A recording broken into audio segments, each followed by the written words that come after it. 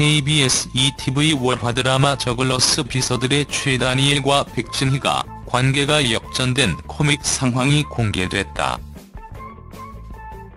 8일 오후 저글러스 비서들 측은 남치원 역의 최다니엘, 좌윤희 역의 백진희의 관계 역전 스틸컷을 공개했다.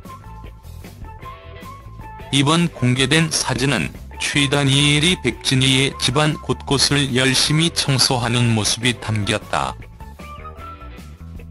백진희는 극중 비서지만 보스인 최다니엘에게 이것저것 지시를 내리고 있다.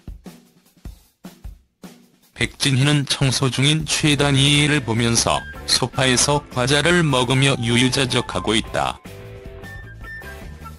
반면 최다니엘은 마스크를 착용한 채 청소 도구를 들고 커튼 위 먼지를 털고 자세를 낮춰 앉아 바닥을 열심히 쓸고 닦고 있다. 이에 어떤 사연으로 최다니엘이 청소를 하게 됐는지 궁금증을 자아낸다. 무엇보다 백준희는 최다니엘과 티박빈 관계의 재미를 느끼면서 때론 깐깐하게 때론 사랑스럽게 시시각각 변하는 캐릭터 감정을 고스란히 표현하며 현장을 유쾌하게 물들였다.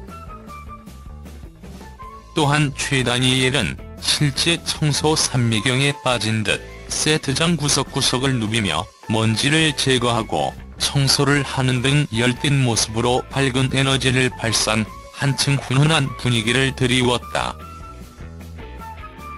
제작진은 백진희와 최다니엘은 빠듯한 일정에도 불구하고 더 좋은 장면을 만들기 위해 최선을 다하고 있다며 두 사람의 꽁냥꽁냥한 커플 케미가 현실적이어서 시청자들에게 많은 사랑을 받고 있는 듯하다.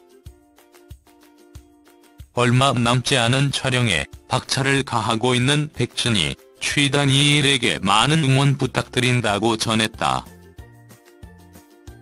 한편 저글러스 11회는 8일 오후 10시에 방송된다.